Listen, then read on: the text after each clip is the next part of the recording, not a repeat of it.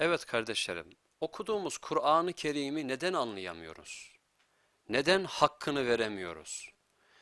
Veya Kur'an-ı Kerim'i aslında okuduğumuz Kur'an-ı Kerim hocam abdestli okuyoruz.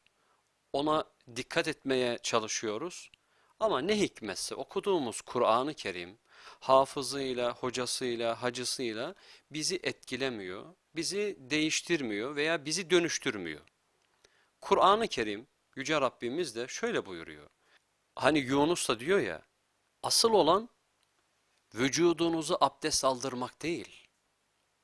Asıl olan kalbinize, ruhunuza, gönlünüze, fikrinize, aklınıza, beyninize abdest aldırabilmek.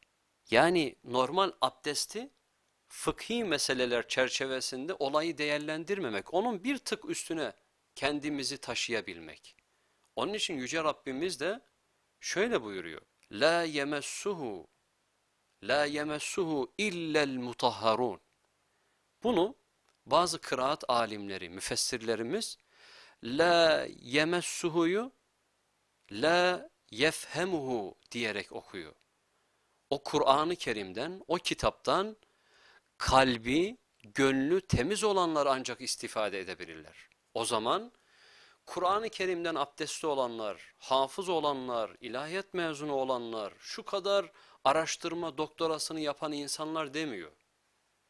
Okuduğunuz Kur'an-ı Kerim'in onun sizi, siz onu Kur'an-ı Kerim açıyorsunuz da önemli olan Kur'an'ın kendisi sizi açması. Kur'an size kendisini açmazsa siz ondan istifade edemezsiniz.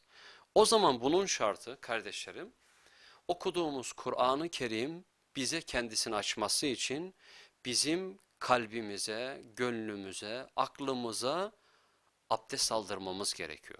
Ki okuduğumuz Kur'an bize etki etsin, bizi değiştirsin. Gerçek manada okuduğumuz Kur'an-ı Kerim'den haz alalım, huzur bulalım inşallah.